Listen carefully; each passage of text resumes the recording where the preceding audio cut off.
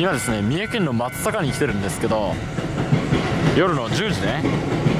明日の朝も早いんですよ、えー、朝4時ぐらいに出発するかなと思っています。まあちょっと本当にそうなるかわかんないんですけど今日本当は北海道に行くはずだったんですがなんでこんなとこにいるんだって感じなんですけどね、えー、これでねまだ泊まるホテルとか特に決めておりません。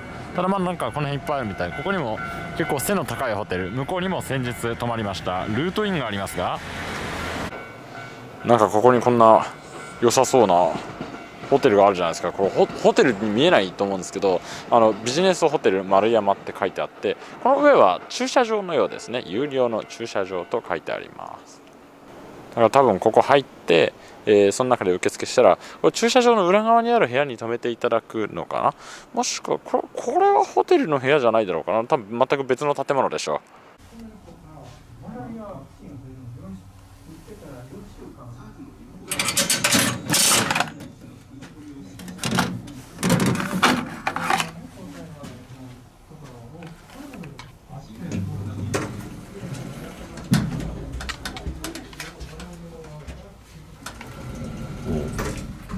1階の次が4階だ。まあ間が駐車場だからでしょうね。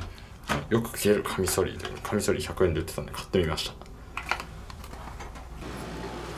た。いややっぱり期待通りのこういうものがたくさんある。出たこの手のマッサージ機なんか使うのがちょっと使えるのかなみたいな感じのやつですけど、まあ、そんなのどうでもいい。自動販売機は古いけれど中身はもちろん新しい食べ物です。結構規模の大きなところだな。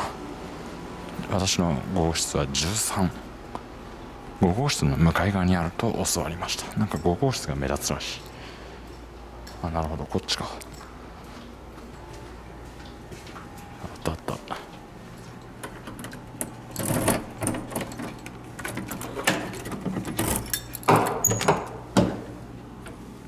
お室内は結構あったかくて。何なんだ？明かりが全部つききらないようですけど。あなんか剥がした跡もあるけど。あいいね。私が期待した通りのホテルだ。えー、これは空調ですかね。えー、っとねまだちょっとどこに電灯の装置があるのかよくわかんないですけど。これは風呂だしな。全部つけるものつけてないけど。これが本来つくはずですよね。えー、あこれこれさここにこんなのありました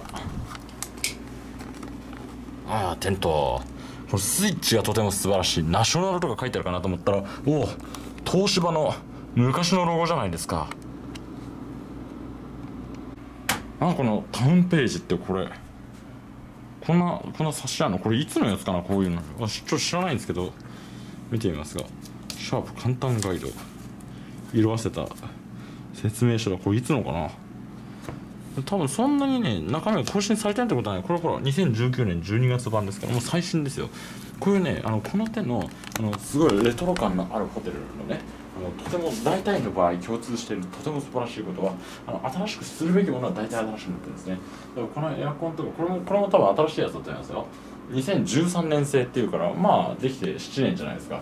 多分私の家のエアコンよりも余裕で新しい、えー、それから 家庭的なこんな丸いのがついてますけど。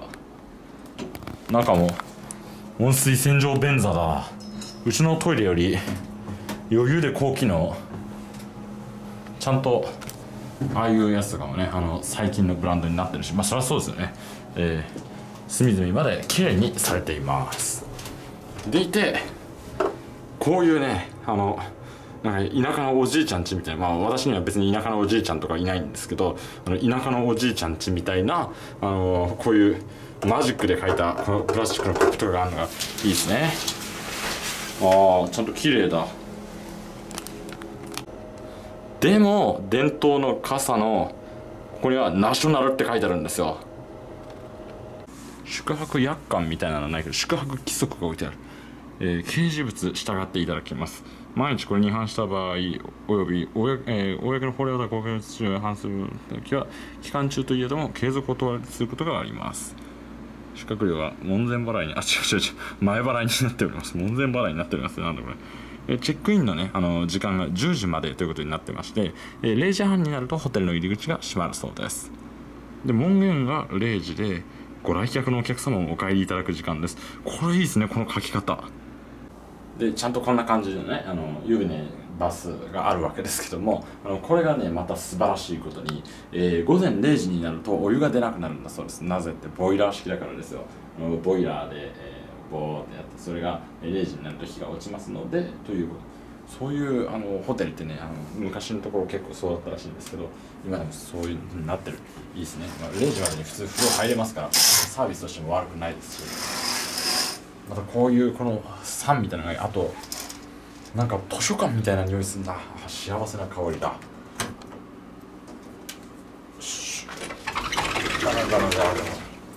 おおちょっと外から寒い空気が入ってくるんでそろそろこの辺にしとこうと思うんですけど非常階段とかはちゃんとね照明が灯っててまあ非常階段ですからね。あの通常使用に頼るというか普段の使うのにちょっとあんまこういいような雰囲気ではないですけども。でも全然そんな別にあのそこら辺のホテルの非常階段よりむしろ温かみがあってきっちり行き届いてるって感じがするな。